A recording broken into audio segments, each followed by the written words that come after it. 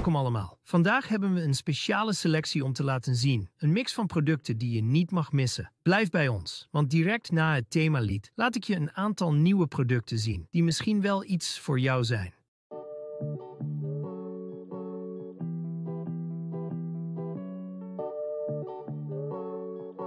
Nummer 3. Met zijn staande voet en flexibele slang biedt hij maximale bewegingsvrijheid en de mogelijkheid om zelfs de moeilijkste schilderen plekken te bereiken. Het dubbel afgedekte reservoir maakt vullen en legen een fluitje van een cent, terwijl de grafische keuzeschakelaar het eenvoudig maakt om de verfstroom aan te passen.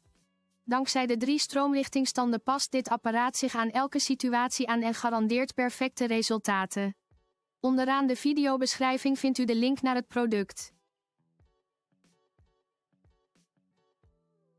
Nummer 2. Het Bosch spuitpistool is de perfecte bondgenoot voor professionele resultaten van hoog niveau bij elk schilderproject. Met zijn krachtige 1200 watt motor kan hij elk type verf aanbrengen zonder verdunning. Dankzij de mogelijkheid om het mondstuk te verwisselen, kun je gemakkelijk werken op zowel metselwerk als houten oppervlakken.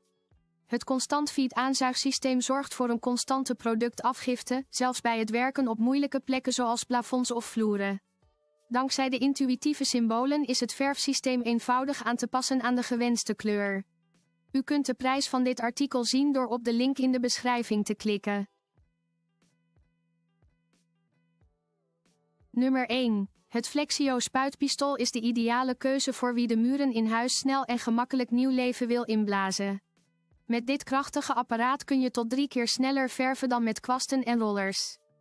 Het pakket bevat zowel de muurlans als het spuitpistool voor hout en metaal, zodat je met gemak op elk oppervlak kunt werken. Dankzij de slang van 3,5 meter en de lans van 70 centimeter kun je zelfs hoge plekken bereiken zonder ladder. Met de 800 ml tank kun je lang werken zonder steeds bijgevuld te moeten worden. Als u geïnteresseerd bent in dit product of de prijs ervan wilt weten, klik dan op de link in de beschrijving.